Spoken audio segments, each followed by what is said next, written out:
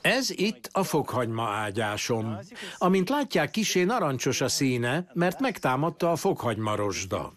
A levelei teljesen belepte az, amit a könyvekben csak úgy írnak le, hogy narancs színű fekélyek. Habár elég rosszul fest, nincs katasztrófa. Nagyon gyakran előfordul a fokhagymán, ezért is kapta a nevét, de más hagymafélén is előfordul. Azért terjedt el, mert három héttel ezelőtt egy ideig nagyon esős, meleg időnk volt.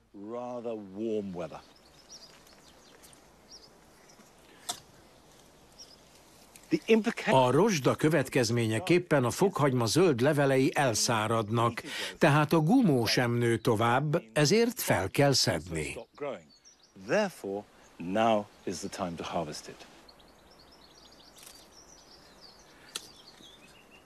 Ne aggódjanak a rozsda miatt, mert a gumót nem érinti.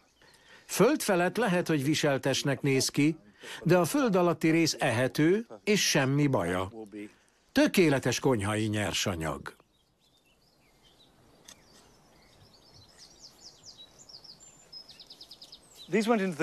Ezeket szeptemberben ültettem el. Korai fajta, sprint a neve. Aránylag kicsi a gumója. Amikor fokhagymát szedünk fel, mindig villával tegyük.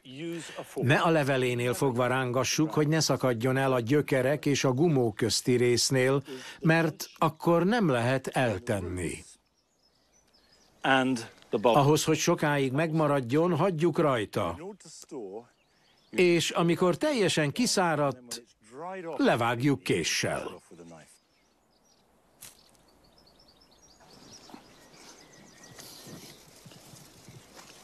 Gyengéden dörzsöljük le a földet a gyökeréről. Ne tépegessük a gyökeret. A termés javát eltesszük, és egy éven át esszük. Úgyhogy most ki kell szárítani.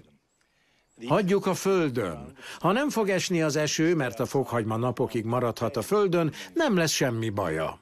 Viszont, ahogy esőre áll az idő, azonnal vigyük száraz helyre, és tegyük jól szellőző helyre.